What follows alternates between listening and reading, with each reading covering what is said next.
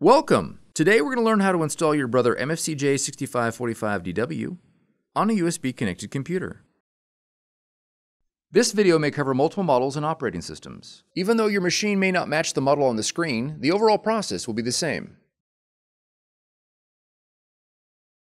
We will begin by connecting your machine to a computer with a USB cable. Cable lengths of over 6 feet are not recommended. Verify that your machine is powered on. Download the full driver and software package from www.brother-usa.com. Navigate to your installer file and double-click to begin installation. Click on the driver download or start here icon.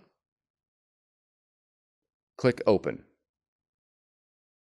Click Next. Select Local Connection and then click Next. When the driver installer window opens, click Continue. Familiarize yourself with the environmental impacts of your brother machine and click Continue. Click Continue. Click Agree to accept the license agreement. Click Install. If prompted, enter your password and click Install Software.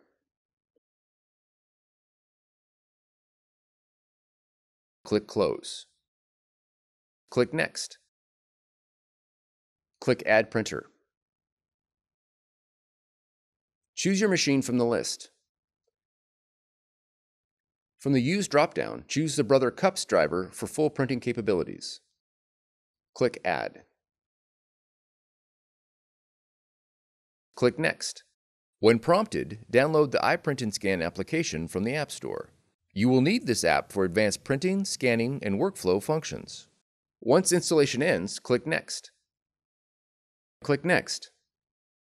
Now click Close. For more tutorials, FAQs, and videos, visit us at brother-usa.com/support. If you found this video helpful, be sure to subscribe. Thank you for choosing Brother.